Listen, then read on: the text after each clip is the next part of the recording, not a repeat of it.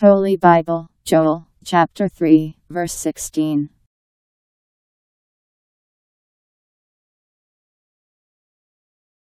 Come quickly, all you nations round about, and get yourselves together there, make your strong ones come down, O Lord.